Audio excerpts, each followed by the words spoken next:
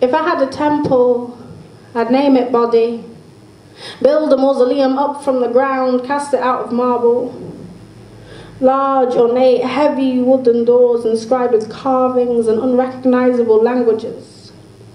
This door stained deep mahogany would be two women and three men tall. The entrance top of marble steps a hundred high up a cliff face. I wouldn't charge ticket price. I'd have limited entry. The entrance would be under three gilded arches, a hallway, a carnivorous room with long arching windows made of mosaic stained glass depicting scenes of wonderment, showing blues that are, view, that are blue, green, and orange simultaneously. The light from the window would cascade down on any visitors. Exhibits of arts and better days would fill the room, floor after floor. Exhibits with rope hanging in trust alongside signs that say, Do not touch, you may look, but do not touch. There are scars woven into the fine knotted silks that are displayed. The cultural significance of the hair, I mean the exhibit, means out of respect, do not touch. People will lean over boundaries breathe heavy on fragile grounds, misuse words like holy, but they will heed warnings, they will not touch.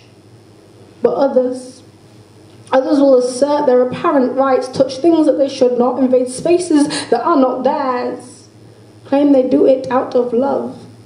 Their touch is the highest form of praise when you say no, or sometimes nothing, because the signs are already in place, they will tear down ropes, they will step over lines, they will violate whatever takes their fancy, they will pick at every irreplaceable, every priceless, every unique, they will shatter and tear and stomp. Long gone are the vases and tapestries. Then they will take any shrapnel that is large enough and throw it through stained glass windows and the views, they will become clouded. These men and women, I mean boys and girls, will run fingers on the walls, leaving sticky bruises, claim you as home, leave destruction evident for the next visitors. They will use words like love. Tell you that's why they visited, and you may at first believe it, but their abuse of this word will ruin it for future users. These people will make you close the doors. Let no one in, refuse entry to everyone, destroy the steps up cliff face, turn temple into tower, you will lay down on a woven prayer mat. One of the few things that survived the assault. Though its meanings have been lost over centuries, you will lay your body down and pray in this temple for your body, for forgiveness, for anything.